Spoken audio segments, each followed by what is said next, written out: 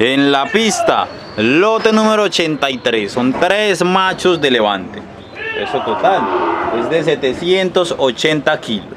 Ese promedio para cada uno de ellos es de 260 kilos. Procedentes de Puerto Boyacá, a base, es de 9 mil pesos por kilo. Fueron pesados a las 10 y 54 de la mañana. Lote número 83.